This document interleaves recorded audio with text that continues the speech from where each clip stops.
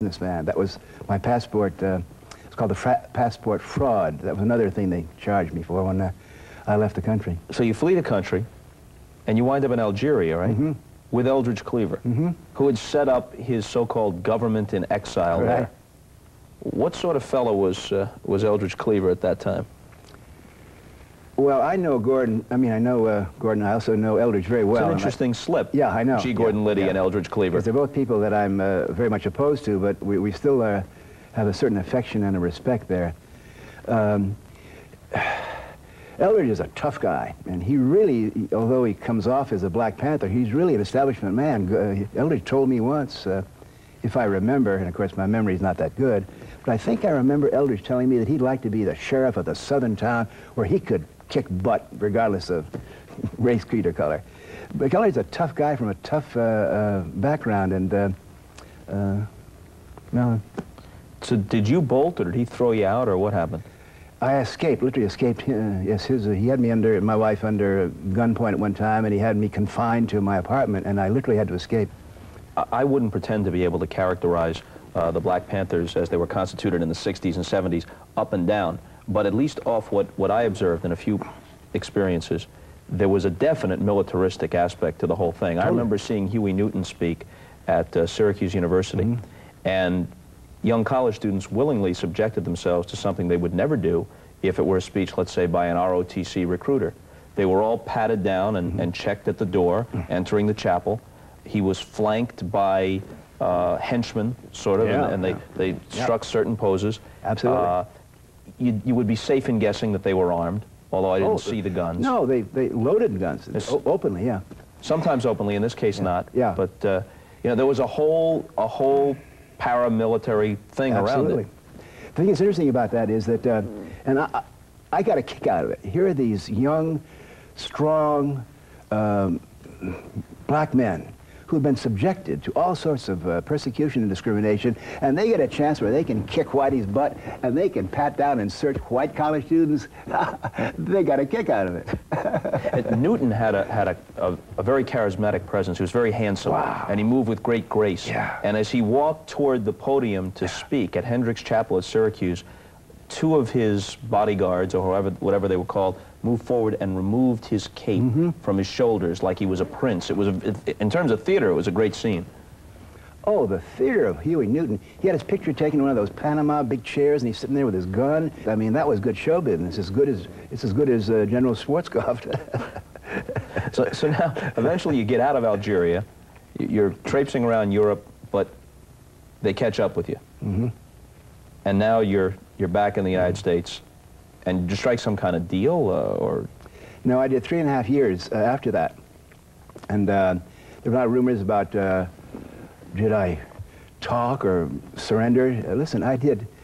I, I was two years over the the uh, limits on this marijuana thing. Uh, they were keeping me in.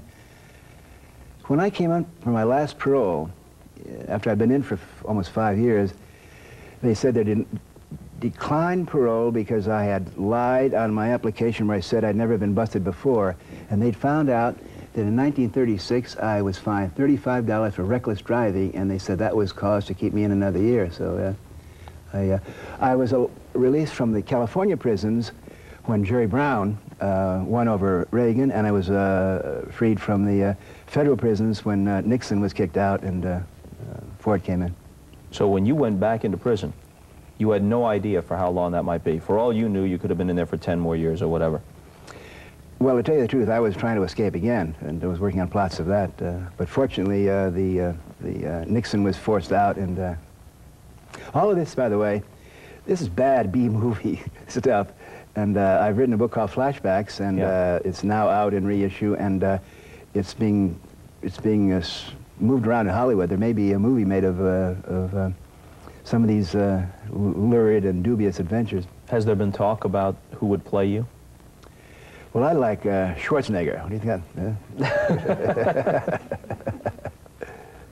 Fill in your own punchline, folks. I, I don't know. Fast forward from uh, the stories of days gone by we've been telling to 1991. You're going to have to educate me from the ground up because I am computer illiterate. I know this is a computer. You take it from there. Well, you know, how do you know? This is actually a, uh, it's a game machine with the power of a computer. This is a, we're talking about a $100, $120 instrument here. Before, before I get into that, I should say that for the last 10 years, I have been involved almost obsessively in developing computer software that will help expand consciousness, increase intelligence, and uh, generate or en- enhance creativity. Because I'm basically a psychologist, as I think you know. And uh, there's been a resistance uh, against using computers in education because the professors don't like it because it seems it's too techy for them. And the computer people are interested in either business or in games. Uh, but a wonderful thing has happened, Bob, in the last two years. The power of Japanese electronic industry to produce handheld consumer items uh, is, out of control. Every 18 months now, the Japanese produce a new computer or a new multimedia image processor that is that's 10 or 20 or 30 times more powerful than the last one, and uh, about 10% of the cost. So that uh, this is a, uh, it's actually a game machine, but it's got a compact disc. Let me take it out here and show you. So that in your little computer here, this compact disc, and you can have, uh, you can pull off from your television set uh, the 7 o'clock news, and if you don't like Dan Rather, you can have Minnie Mouse's voice. You can edit, think about it. Uh, I think it's one of the ultimate empowerments of the individual, and I give the Japanese a lot of credit. The Japanese know that the money, the big money, is in small, uh, uh, ex- inexpensive consumer items because hundreds of millions of people are going to have this thing and uh, instead of the big mainframes or the big television nets. This is going to allow uh, the 14-year-old kid in the inner city to have the ability to uh, edit and uh, film and tape and uh, put their own ideas on screen that uh, perhaps NBC didn't have 25 or 30 years ago. This is very exciting. Let's hope you don't have to use this for a long time, but I'm told that you give a certain amount of money each year to the Alcor Life Extension Foundation, which plans to freeze your head when you die, and then in effect, when they figure out how, they grow you another body. Oh, something like that, yeah. Uh, there is a group called Alcor. It's in Riverside, California. They're the finest group of scientists and libertarians I know. I signed up to have uh, my head frozen and possibly my body, if I can afford it. Uh, we're not going to die. We're going to deanimate and we're going to hibernate uh, and then hopefully uh, we will be brought back. At the present time, Alcor Foundation has 18 people now frozen, some heads and some heads and bodies. Uh, they have over 200 people signed up, and it's, you do it through insurance. I pay $300 of insurance so I can be insured that if I decide at the last minute, I can get myself frozen. And by the way, I may not do it. This is an option. I don't want to give myself over to the worms and maggots or to the uh, microwave of the crematorium. I want to have that option. But also, I'm doing this in small groups, and I'm uh, working out a small group commune of some of my friends. If we like each other in this world, let's make a date. We'll meet in, uh, say, 2040 uh, for a reunion, if and when science um, uh, works out the solutions. And by the way, uh, I, I feel that your attitude towards dying or immortality is the key. We're going to let him catch his Make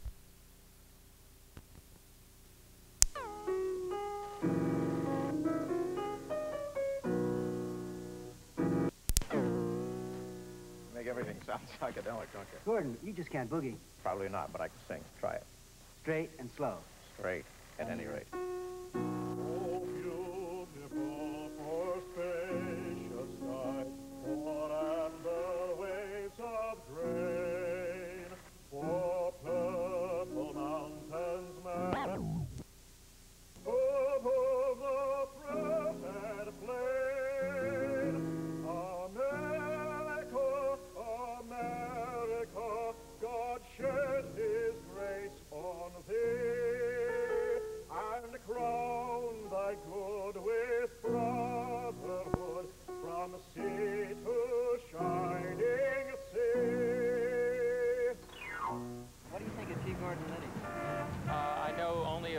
I've seen on news programs from the uh, Watergate, and he seems like pretty much of an asshole. Oh, wait, Timothy Leary, uh, all I can think of was he the one that was uh, with the um, dope? I've never heard of Gordon Liddy. I don't like him. What about Timothy Leary? I don't like him either. Timothy Leary, what? I grew up in the 60s, and uh, he was, what, made into some sort of a folk hero. Um, personal opinion, he's not a folk hero of mine. He sounds kind of crazy to me. But I've come away with the feeling if we had 100 G. Gordon Liddies in Vietnam, we probably would have won the war. Timothy Leary, I don't know that much about him, but I equate him with freedom of, well, of, um, it's very hard to have an opinion. It's just that there's been a lot of bad things. and I equate Liddy with Leary seems to have some sense, being a professor of psychology at Harvard University, a man of, of quite a bit of intelligence. And Liddy, to me, has um, fascist inclinations due to his authoritarian um, type being. Yeah, he's crazy. I think they're both a little nuts.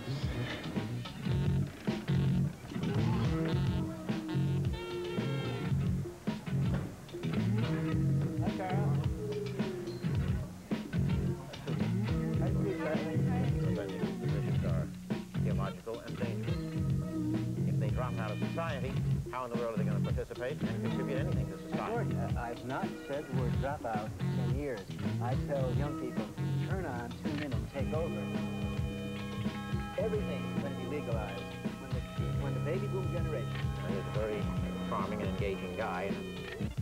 Talk, talk, Liddy.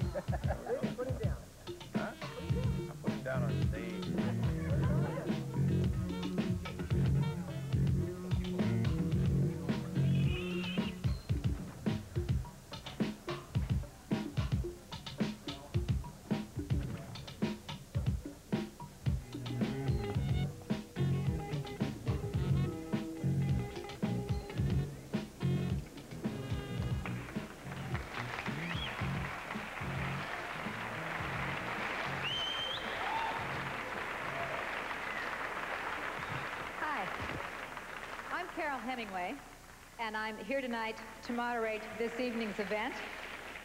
You're here to witness a debate between G. Gordon Liddy and Dr. Timothy Leary, two men from opposite extremes. G. Gordon Liddy, Watergate, the mastermind of the bungled burglary. He had a code, and he lived by it. Dr. Timothy Leary, conducting scientific studies, was seen to have influenced a whole generation into taking dangerous drugs. These two men here tonight.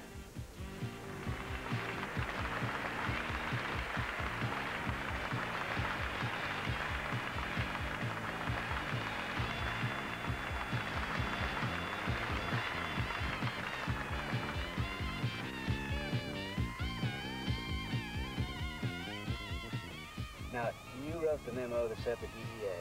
Yeah. And you masterminded Operation Interceptor, which you sealed off all the cities, allowing all the grass to come across the... Uh, Well, the purpose of Operation Intercept I know it. was not as advertised. It was to seal the border so as to create economic turmoil.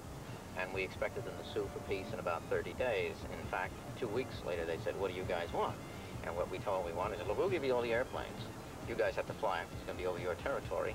And when you find the, the opium poppy and the marijuana and everything, we dump the paraquat on them. So to stop American kids from smoking grass instead of uh, drinking horrible whiskey, you, you forced an economic blight upon the poor peasantry of Mexico. Well, the poor peasantry of Mexico would stop growing marijuana. Uh, we wouldn't have to do things like that.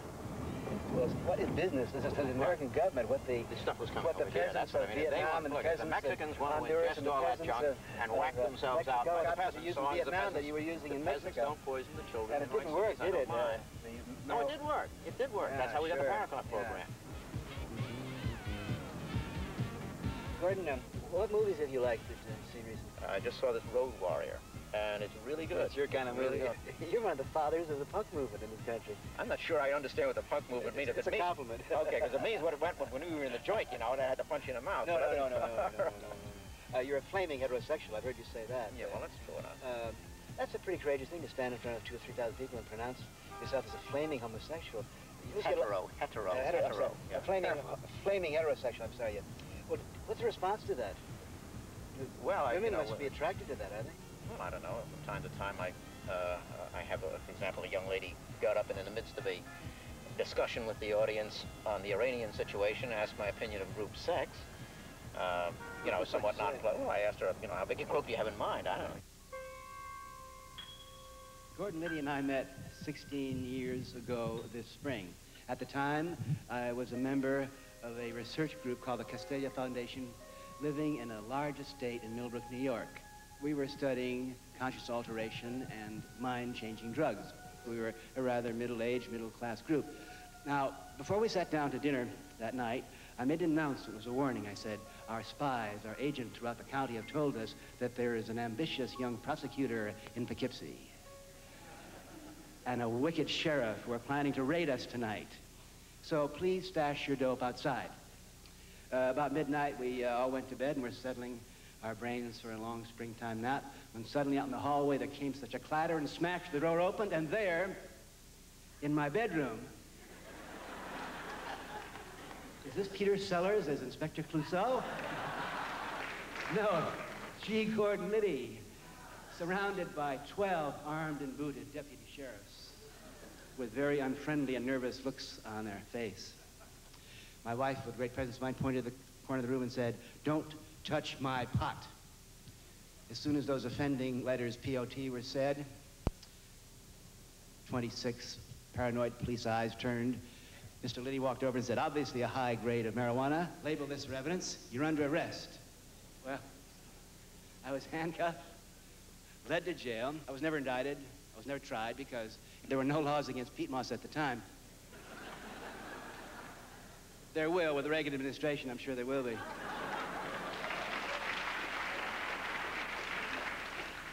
But I must say this for Gordon Liddy. He's a man of great perseverance and intelligence, uh, so he kept harassing us. He kept busting us. He kept raiding us. And he did indeed run us out of the county. Now, for this, he was promoted to the Nixon White House as the world's leading drug expert. So in a sense, I feel I helped Mr. Liddy's career, and between the two of us, we helped bring down the Nixon administration.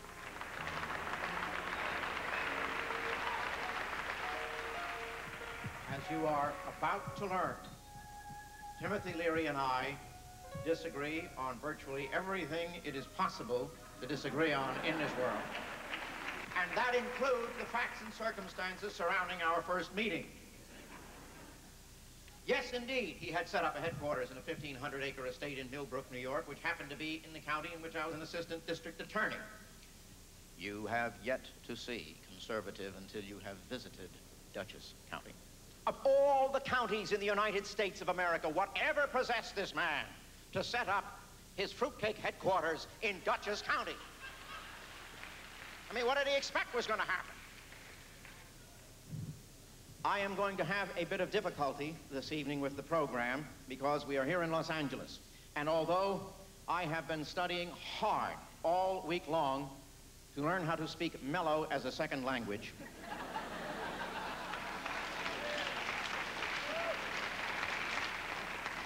I am not yet the master of it because every time I think I know what it is, I go to another party and I find out you guys have all collected together overnight and changed everything the next day.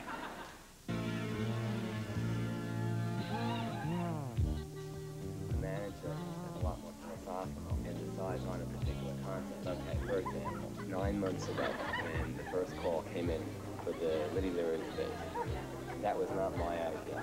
But what I did do is I all of a sudden said, wow, this is the way to elevate. At the time, Gordon was much bigger than you were, unquestioned. At the time, Gordon was getting 4,000. Yeah. were, you know, we were having our hands full pushing it.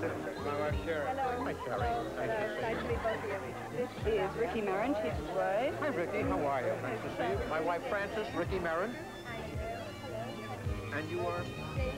I talked to the veterinarian in, um, in Washington. Yes. I actually talked to his wife. Arnold, how are you? Good, to, see, you again. Listen, my son Tom asked I me saw once him in, again. I saw him in Washington. I know he did, and he, and he and he asked me again. You know, he figured that I'd see you here. Yeah. And he said, "Tell him again,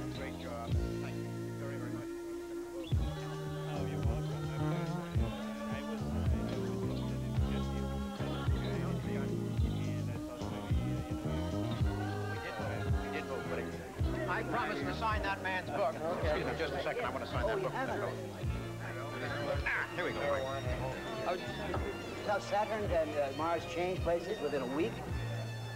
They were this way. Yeah, Remember, they were this yeah, way, uh-huh. and now they're this way? Yeah. That's what freaked out the angels. That was their television show.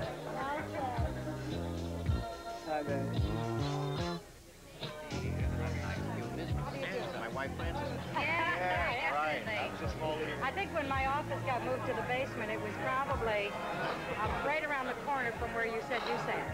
Yeah, As I uh, the room 16 probably. Yeah, well, you know that. Because I was in the big office. You know where Nixon kept the tapes? Yes, I do. That, that is, Now, medals one year. yeah, my uh, my son recruited me into the effort. Yeah, your son graduated from St. Albans? Yes, with uh, Timothy, with with my brother? Or Yeah, Teddy? and Teddy, Teddy, Teddy, yeah. Uh-huh, 'cause he was like a year behind my So brother. then I really didn't have much chance to do anything or to grow very much because everything was, my full time while he was in prison was taken up with the teaching and with the children Right, children. and the lovely finances. You know? Incredible that you do that. Yeah, it's kind of amazing when I look back at it now. Frances, I think it's time that you really busted out. Yeah. And, uh, and we're in Hollywood with uh, the most intelligent, wonderful people. And uh, They say now Yeah. that the funniest thing in the world with Gordon is he's the biggest name in Poughkeepsie now. I know. We weren't on the air at the time. They were. They asked him for one, two, three, four, five. You know, a sound check. He gave it to them. He asked me for a sound check, and I told him they were all under arrest. Nobody leave the room. oh, my Heilman. He's still there. If he isn't dead, he may be buried by now, for all I know. Jim, which way did Bob go? He was standing right here. Did you see which way he went? I'd like to find him. find him and bring him back. Bob's got the cocaine. In my opinion, for us to achieve our human existential ends, we must cooperate one with another. Mutual supplementation and cooperation to achieve these ends. And without that, no culture, no music, no theater, no roads, no hospitals, no judicial system, no agriculture, nothing. Where does that lead us? There is a duality in the nature of man. He has an individual nature and a social nature. Morality flows from man's individual nature. If one is the only human being on the face of this earth, still have morality. But if one is the only individual on the face of this earth, what need have you for laws? What need have you for rights? You are the only person here. Those things flow from man's social nature. And so there is this intrinsic difference between law and morality. And to the extent that the common good as a whole contains and subsumes within it the individual goods as parts to a whole, the common good transcends the individual good. That is, as you say here in Mellow,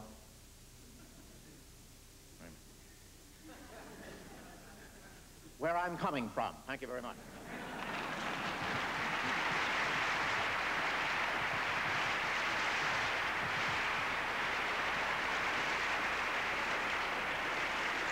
That is where G. Gordon Liddy is coming from. Dr. Timothy Leary, where are you at? It's my duty at this point to ex- expose my admirable adversary as a member of a very dangerous, disorderly, and destructive group. He cannot deny it. He's a self-confessed lawyer.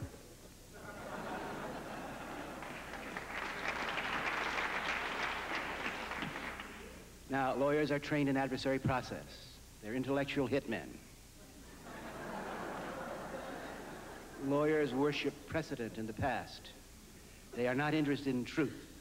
They are interested, of course, in uh, marshaling evidence, cover up, twisting facts in every way possible to win their case at the expense of fact. The real difference between us, the 180 degrees, is not left wing or right wing. It's past versus future. And Mr. Liddy is definitely facing backward, moving into the future, if at all, this way, worshiping tradition. And I'm a futurist. Now, I have news for Mr. Liddy. Gordon, history ended in 1945. In 1945, of course, that was the, the uh, time of Hiroshima and Nagasaki, and nothing has been since the same, and politics really has to be shuffled and dead all over again. Most Most of those men that did combat saw it as a test of manhood, as a rite of passage. They saw it, unfortunately, they got addicted to it. I call this the Legionnaire's disease.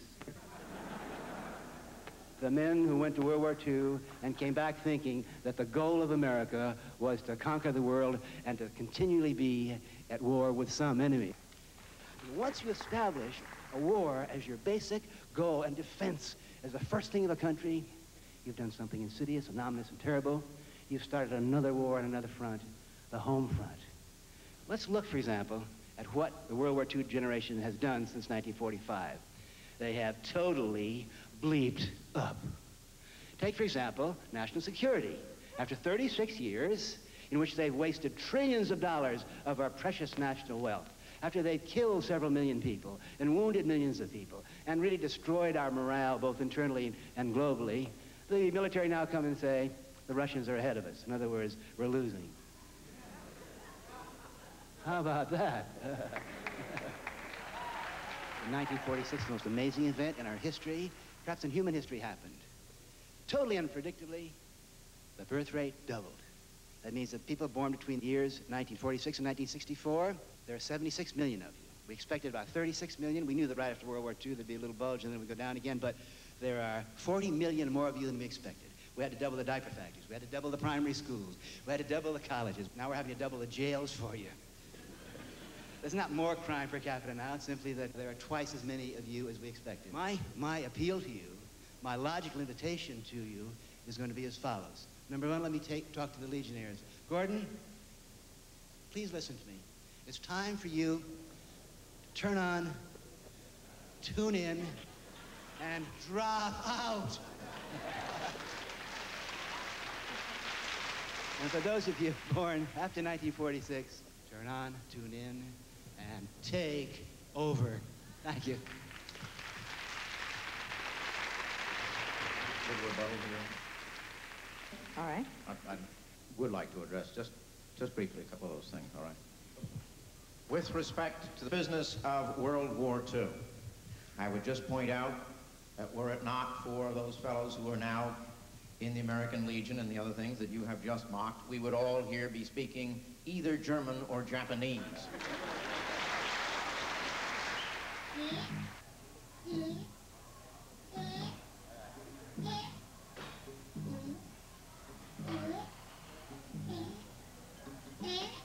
You have to get to the point of pain. It doesn't do you any good until you get to the point of pain, really. The whole idea is when you're in competition with someone else and you hit the pain barrier, you should welcome it because that means your opponents are experiencing pain and to the degree that you are able better to work right through the pain than they can, you will defeat them. In an exercise like this, of course, the contest is with yourself.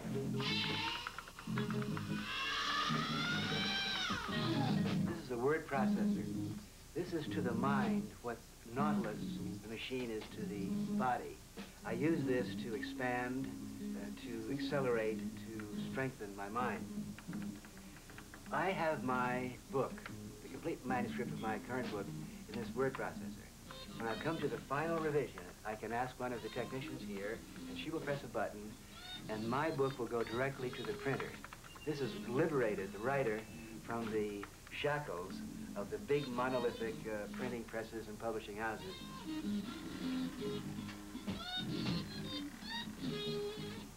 It encourages me to change, to improve, to grow.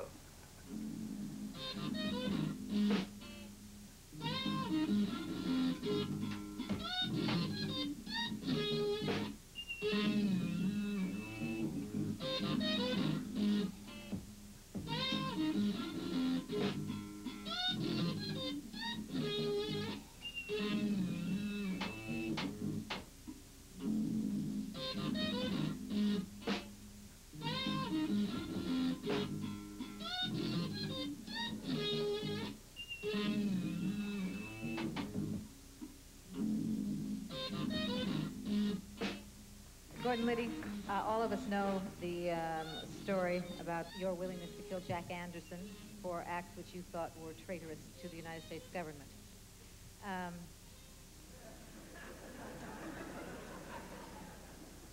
if he were here now, Would you kill him? No, and I'll explain that situation to you.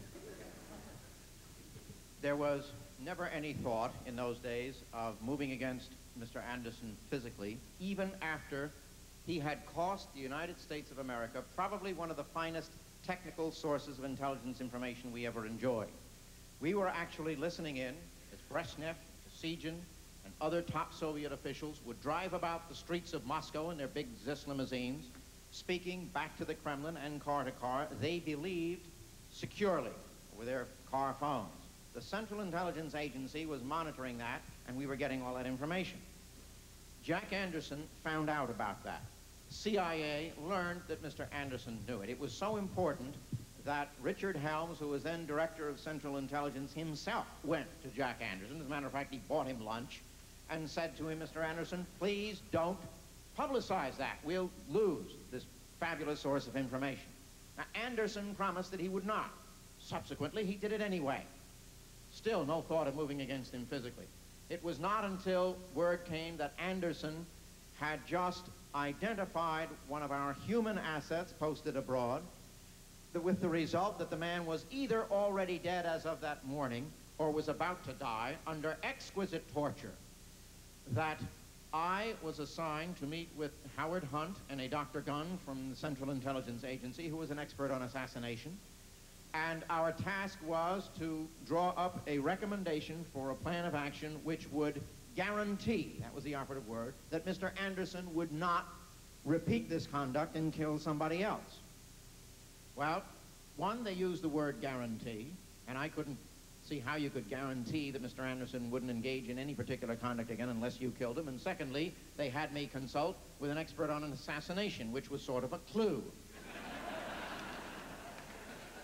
This guy knew more ways to whack you out than there were moves on a chessboard. And so, we sat down and discussed it. And the first thing we discussed was whether or not we would be justified in this instance in a homicide. And I assure you, if there's anybody left in, in this country who does not understand that from time to time, for very good reason, this country engages in homicide. They do. That's against the law. Now, the position I took was, if Anderson had only betrayed, or it was in prospect that he was only going to betray technical sources of information, and we were not in war, then no, it would not be justified to kill him. Well, I just want to I just want to make one thing perfectly clear here, point of phrase. I'm pleading not guilty on all of this, all right? Well, you always have. That's why they gave you 20 years. he also refuses to talk. exactly. 20 more. Each and every one of us is a miracle. Now, the position I took was, if Anderson